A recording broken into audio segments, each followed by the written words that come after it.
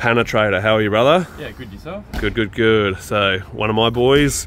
Um, what got you into Muay Thai? Uh, I've always been a sporty person as a kid. Um, played soccer my whole life from the age of five up until like 17. Did nothing for a few years and needed something to do, and yeah, came to fighting. Sweet, sweet. Um, so you end up, you originally came with a mate, right?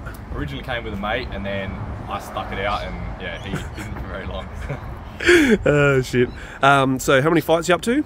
18 now. 18. Yeah. Um, you feel like there's been a turning point in the in the fighting, like like what's changed? Like there's been like a, cha- a turning point where you've had something click at any particular time? Yeah, more, more so probably the last one. Mostly just um, other fights have just gone in there and fought. Where now I've sort of got a bit of personality in the ring. I'm doing it the way I want to do it, not a way I think someone else should want me to do it. Yep. Um, because I know like the only thing I've ever done with fighting is Muay Thai. So if I just go out there and fight, it's gonna be Muay Thai, even if I'm thinking about it or not. Yeah, it's not bastardized, right? Yeah. Yeah, sweet. Um, any particular goals you have? Any dreams? Muay Thai dreams? I just want to be someone who like you know in the sport, like have a name so everyone knows who you are.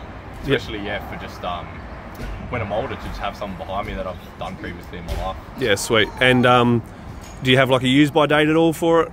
Not really. No, keep doing it until it's. planning to pretty well make it go a bit more next year. So Yeah, sweet. All right, sweet. Um, that'll do us for today, man. Um, thank you very much. And uh, everyone, uh, next one will be out, I think, Monday week. Right, cheers. thanks everyone.